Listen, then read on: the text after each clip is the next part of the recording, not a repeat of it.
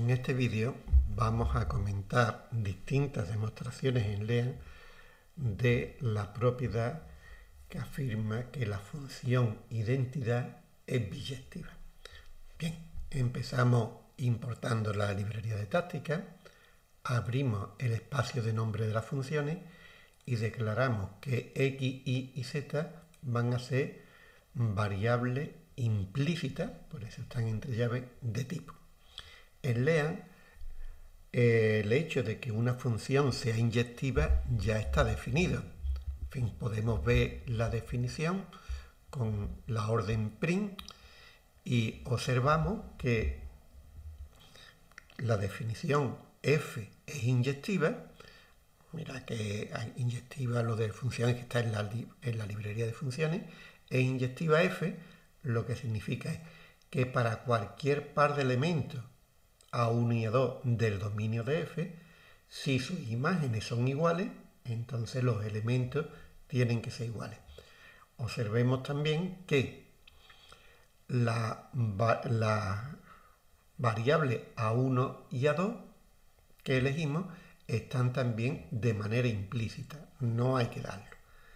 La definición de suprayectiva también está y lo que dice que la función f de alfa en beta es suprayectiva si para cualquier elemento del codominio, para cualquier elemento B del codominio, hay un elemento A, algún elemento A en el dominio tal que su imagen es B. Y la definición de biyectiva. La función f es biyectiva si es inyectiva y suprayectiva. Bien, con eso vamos a ver la primera demostración la demostración de que la función identidad es de que la función identidad es inyectiva. Bueno,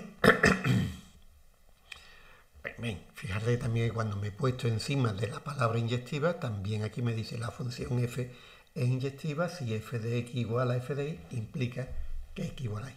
Y la función identidad, que la función identidad es que para cualquier tipo hay una función identidad que aplica el elemento en él mismo, cada elemento del tipo en él mismo. La definición depende de los tipos. Hay una identidad para cada tipo. Por eso aquí estoy indicando el tipo, va a ser la función de identidad en X. Ahora me acabo de dar cuenta de que la Y la Z no la voy a usar, la puedo borrar.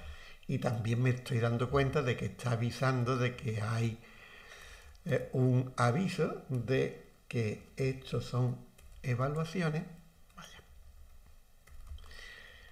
Ahora voy a comprobar, control X1, que todo está bien. Control C, control R. Bueno, y aquí vemos que todo ha quedado bien. He quitado las variables y no he introducido ningún error.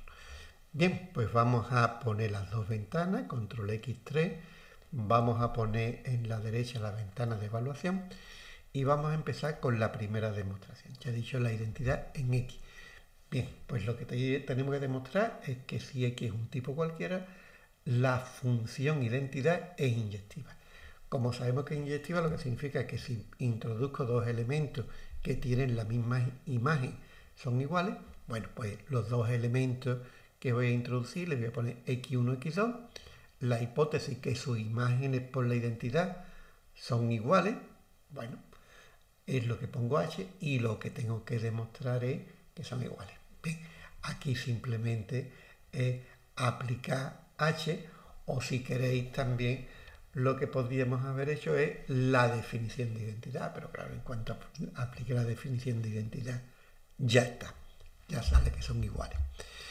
Bien, entonces esto de introducir y después aplicar h, esto lo podemos poner con lambda, sería lambda x1, x2, h, y ¿qué es lo que tiene que ser? Aplicar h. Si solo dejo el x1, aquí sería, hombre, esto sería y lambda x1, lambda x2, lambda h, h, eh, lambda.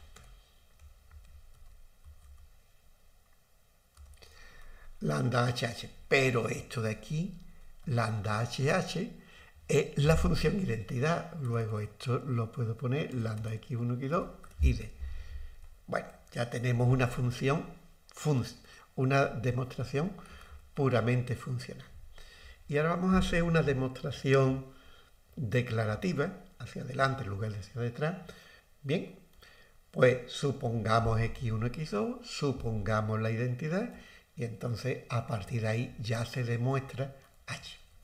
mira que la, la tercera es muy compacta, muy, para, muy funcional, la cuarta es muy detallada, estoy diciendo todos los pasos y estoy escribiendo mucho.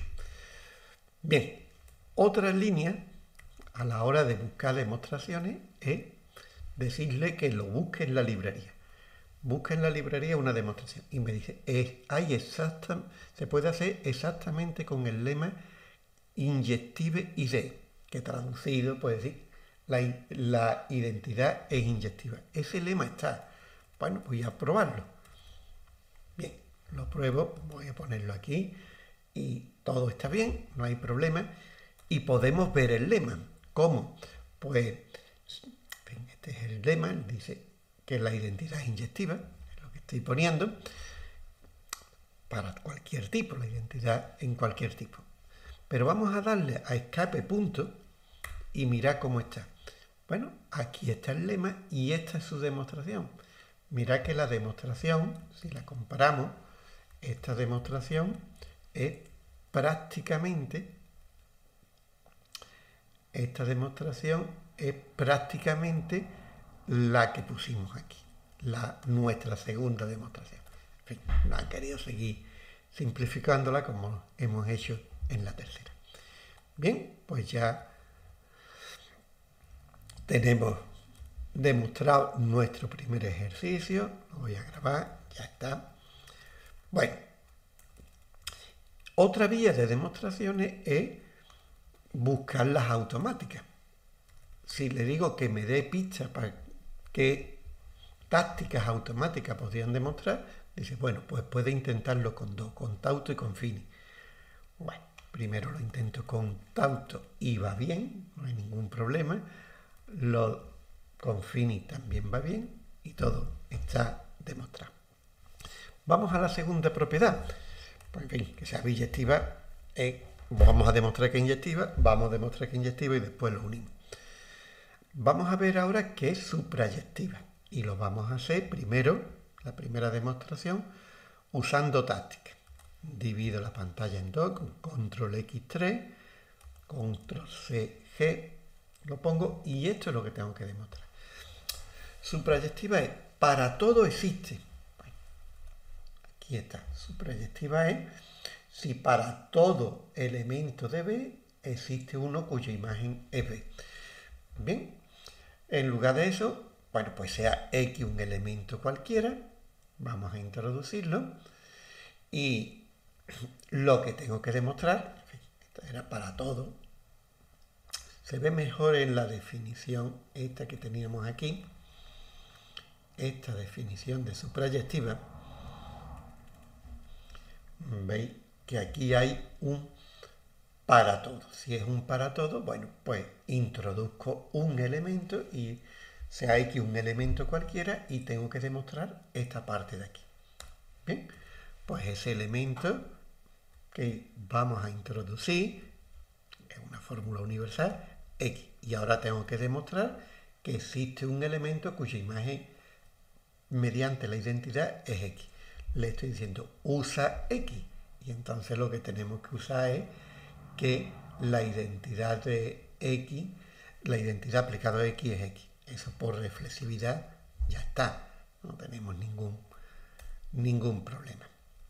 Bien, también estos dos pasos usar y después reflexividad, lo puedo poner en uno, utilizando el patrón. El patrón, vamos, los paréntesis con ángulo, bueno, pues nos va a introducir el testigo, introducción del existe, el testigo y la justificación. La justificación que cualquiera son idénticos. Bueno, otra vez tengo Introduce y después un exacto. Bueno, pues esto es un lambda término. Él introduce x es lambda x y ¿qué es lo que tiene que hacer? Pues es un existe con el testigo x y la justificación, la reflexividad. Si hacemos la demostración, bueno, supongamos que eh, sea ahí un elemento cualquiera y existe un x, bueno, ¿y quién es el existe? Y con la reflexiva. Bien, también lo puedo buscar y me dice, hay una que cumple esa propiedad que se llama suprayectiva ID. Bueno, pues esa función lo que me dice es que ID es suprayectiva. Y vamos a mirar, ya que lo tenemos con escape punto, vamos a mirar la demostración. ¿Veis qué demostración tiene? Bien, esta demostración de aquí es prácticamente, vamos a compararlo, es prácticamente la que teníamos aquí. ¿Vale? Nuestra tercera demostración. Bien, bueno, también eh, lo podemos preguntar por, eh, por, automático, nos dice que este auto sirve, bueno, y efectivamente sirve. Y llegamos a la última, que es biyectiva. Que es biyectiva, nuestra primera demostración es por introducción de la conjunción, tenemos que demostrar que es inyectiva y suprayectiva. Bueno, pues como ya hemos demostrado, como ya tenemos inyectiva ID y que la ID es inyectiva, que es proyectiva, ya está. En lugar de el, el nombre de la regla, pues podríamos también poner el patrón. Y como siempre, también podemos buscar la librería y también hay una, en fin, tampoco se rompe la cabeza con los nombres, que ID es biyectiva. Bueno, y si miramos la demostración, aquí la tenemos, ¿Y cuál es la demostración? Pues que es inyectiva y que es suprayectiva, es decir, nuestra segunda demostración. Esta demostración es exactamente esta que tenemos aquí, nuestra segunda demostración. Y con eso, bueno, pues ya hemos llegado a demostrar que la identidad es biyectiva, tanto con las tres formas, usando táctica, es decir, demostración aplicativa, hacia adelante, declarativa, una demostración estructurada, y también funcionales mediante lambda término. Y eso es todo por este vídeo.